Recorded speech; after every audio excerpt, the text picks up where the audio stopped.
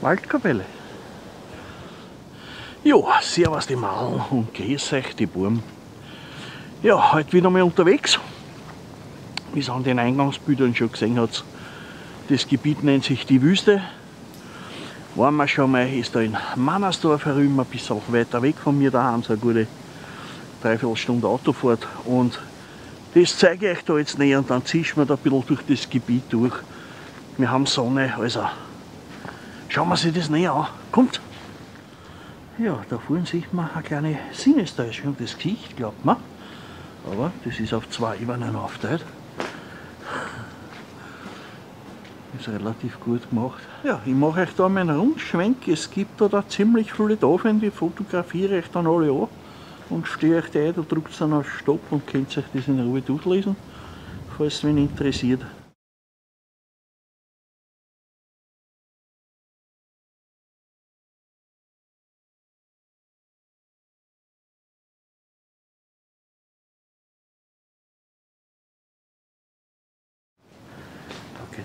Ein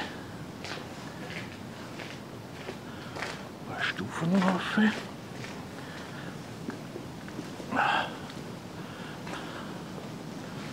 Ja, da kann man jetzt das Gesicht schön von der Seite erkennen, wie das gemacht worden ist.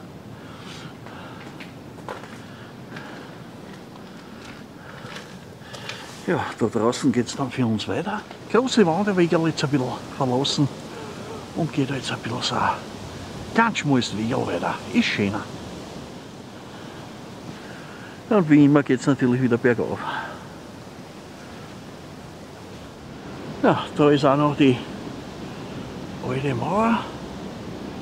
Da haben wir es. Bäckertürl. Und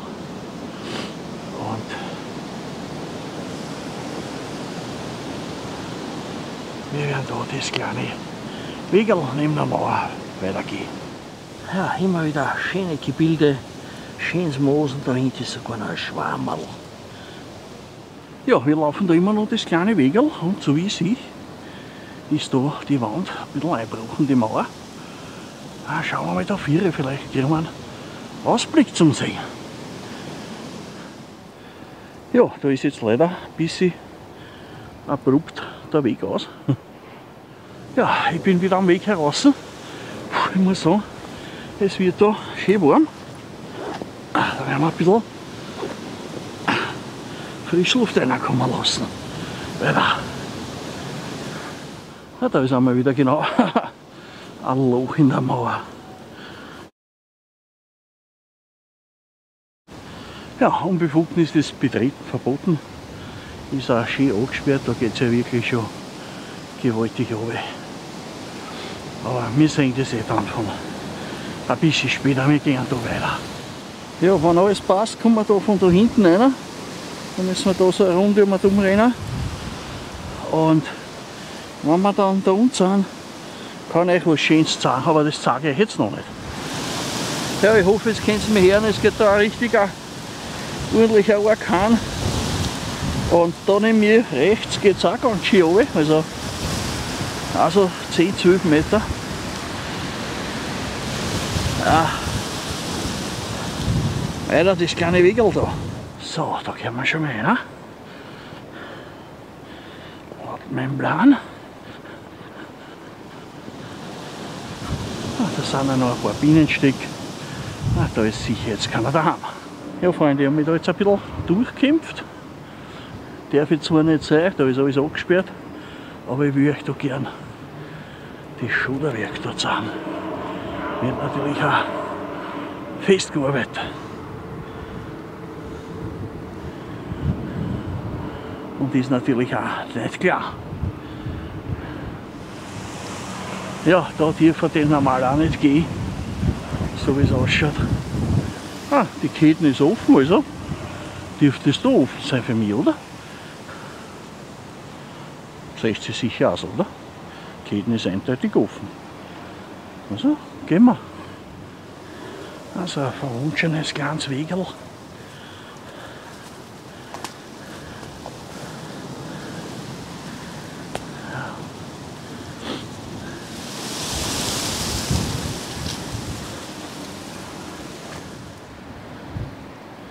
So, ich bin auch jetzt da, wo ich hinwollen habe. Da ist das Platzl. Ja, da ist ich ein bisschen ein windstulleres Platzl. Hey, da habe ich gerade einen imposanten Stein gesehen, den schauen wir uns näher an. Schon imposant, der ist da im Wald. Durchbohrt, so wie es ausschaut. Und da wird er dann gesprengt oder haben sie damals ein Wasser eingefüllt und haben sie es gefrieren lassen, dass es zerreißt. Da oben dasselbe in grün. Ist schon gewaltig. Ja, bei den nächsten auch, da sieht man richtig, da hören die Bohrungen auf. Oder? Nein, die gehen sogar noch weiter. Aber der dürfte irgendwie anders gebrochen worden sein, wie, wie man sich geglaubt hat. Ja, meistens kommt das anders, als man denkt. Ne? Ja, ich denke, werden wir es so hinten dann gemütlich machen. Ein kleines Käfchen, da gibt es heute eine Neuheit. Stelle ich euch dann vor. Aber zuerst zeige ich euch einmal die Besonderheit da unten. Ja, Freunde. Und das ist es, was man da sehen kann. da hat sich eine besondere Mühe gemacht mit Gesteinen.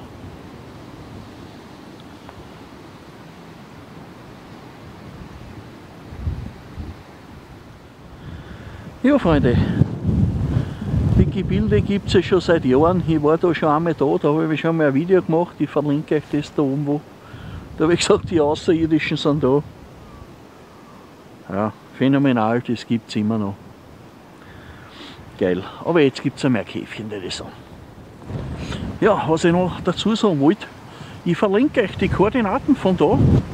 Dann könnt ihr euch also in Google Maps, Google Earth oder sonst irgendwo anschauen. Sieht man es auch schön. Ja, so richtig windstill ist da zwar auch nicht, aber was so ist. Für ein besseres Platz werde ich nicht mehr auftreiben. Einen schnellen Kaffee wird schon drin sein. Bauen wir da ein bisschen die Steine um den Kochen wir um. Ja, es bloß leider da ein bisschen der Wind da. Und einen Hunger habe ich eigentlich auch. Ich habe eine Suppe mit. Und zwar heiße Tasse da werden wir zwei genehmigen.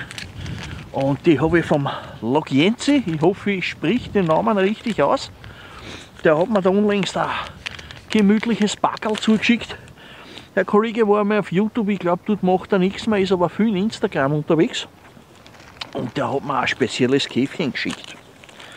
Der war in Australien unterwegs, hat schöne Bilder. Wie gesagt, Instagram, ich verlinke euch unten den Link zu ihm hin seinen Namen und ah, schreibe es vielleicht da auch drunter. Und der hat mir ein Käfchen mitgebracht. Und zwar, die sind so wie ein Teebackeln. Werden wir heute mal einen kosten. Bin gespannt. Aber zuerst einmal würde ich sagen, ein super, weil es ist wirklich frisch. Ich glaube, ich werde dann da wieder zumachen. Ja, Freunde, die ist, ist fertig. Die könnt ihr fast trinken. Brauche ich gar keinen Löffel dazu. Hm? Schaut geil aus. Okay, er braucht einen Löffel. Trinken wir's. Ah, ja, uh, das tut gut im Magerl. Ich habe heute noch nichts gefrühstückt. Jetzt haben wir es, wie spät haben wir es? Ich schätze noch 12 wird es sein. Ja, drei Viertel eins wird es sein. Jetzt Zeit für Papi. Und ein bisschen warme Hände. Ja,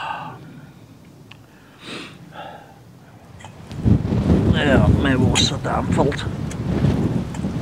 Den Wind. Schauen wir da mal rein. Drei bis vier Minuten drin warten lassen quasi.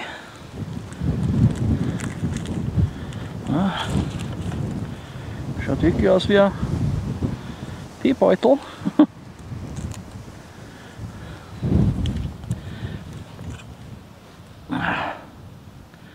Drei Minuten sind vorbei. Ist man dann ordentlich aus. Das ist auch richtig schwarz geworden. So, den legen wir da her. Also dunkel ist auf alle Fälle. Gut, ich brauche sowieso. Schauen wir mal, ob auch Milch reicht, aber ich denke schon. Sollte auch Zucker reichen. Das wisst ihr, wie man mehr dran kommt, meine ganzen Krankheitssesseln gesund werden. Natürlich meine Gesunden nicht krank werden.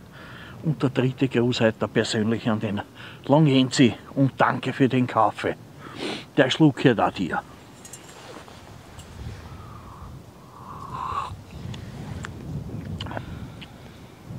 Ja.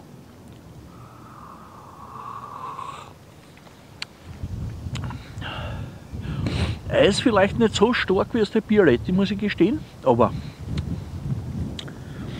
nicht schlecht. Gut, ich habe auch da ein bisschen mehr Wasser drin als wie normal in der Bialetti. Wir haben zwar Anzeichen, dass so Tassen voll, das habe ich auch gemacht. Aber,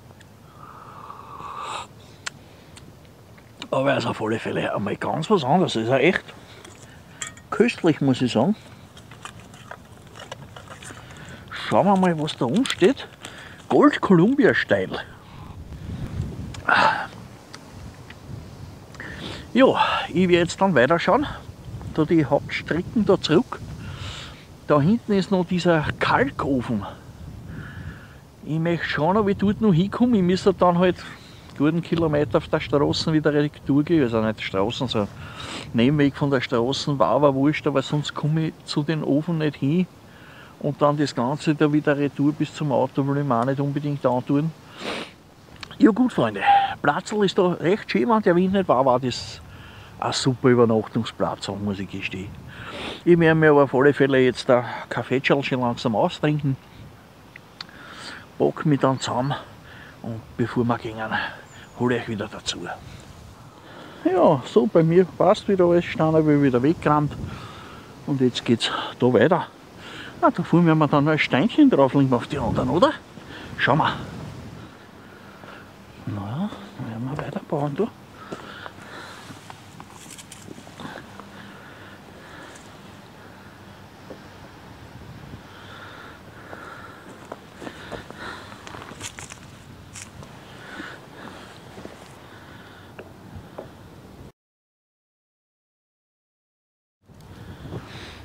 Passt.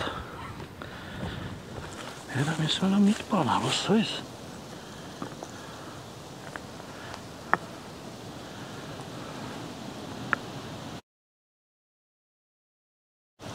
Weiter geht's. Ja, ich gehe da den verwunschenen Weg weiter. Da müssen die hinten bei den Kalkofen rauskommen. Ja, und so wie es ausschaut, sind wir angekommen. Da vorne ist der Kalkofen. Aber ich werde jetzt einmal einen Schluckerl Wasser genehmigen.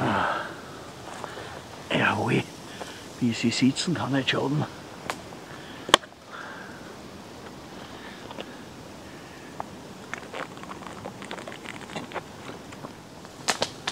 So, ja, gehen wir das Stück noch. Ja, da stehen also Lokte, was da wahrscheinlich im Stapel gefahren ist. Den Motor zeige ich gleich, da kann man reinschauen.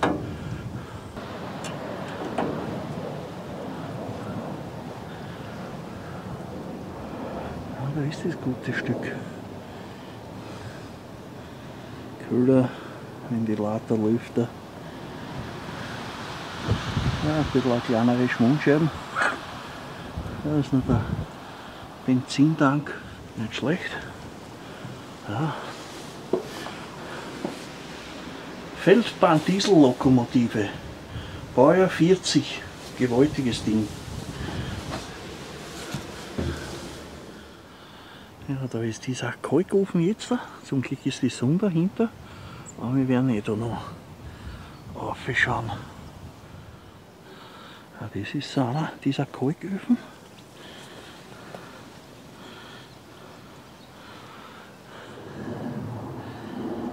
Interessant.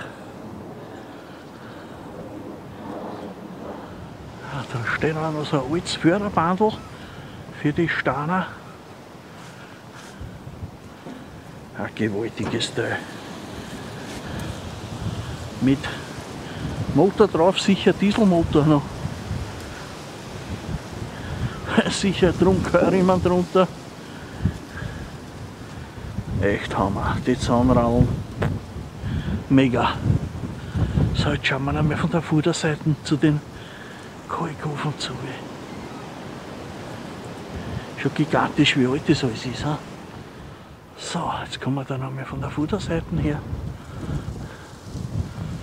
Da sieht man richtig, die sind mit so Eisenbandeln sind die zusammengehängt, dass er nicht fällt. Auch nicht schlecht. Ich habe leider nicht mein Objektiv mit zum Polarisieren, dass das nicht so spiegeln wird, aber ich glaube es geht so auch. Das sind die ganzen Hackler, Kalkofen, Bexer. Also die Schuhe, der Helm, ein Vorhall, ein Gürtel noch,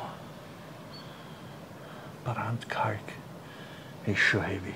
Auch da alles mit Stahl verstärkt. Ah, echt super. Müsste man direkt einmal schauen, wenn die offen haben und das anschauen. Ich habe gar nicht gewusst, dass da ein Museum ist. Echt interessant. Echt. Ah, und der Spruch Glück auf. Gedenken an den Baurat Willem Haslinger. Alles da. So Freunde, mit den interessanten Sachen ist vorbei. Ich muss jetzt eine Straße latschen. Da unten die Hauptstraßen drüber und dann müssen wir auf alle Fälle da vorne entlang und da hinten wieder zum Auto. Na, sowas gibt es auch nicht bei uns. Ein fahrbarer Hochstand mit Drehsessel und Querauflage. Ich könnte eigentlich herfahren und anhängen und nicht mehr mit. ja, Freunde, ich bin wieder bei meiner Droschke. Wir die eineinhalb Kilometer sind bei Straßen waren extrem lästig, aber ist halt so. Ja, ich ziehe jetzt eine vorham. Sag wie immer zu euch Dankeschön fürs Mitlaufen, fürs Dabeisein. Ich wünsche euch noch einen schönen Tag, eine schöne Woche und sage Servus die Mauern und viert euch die Burm.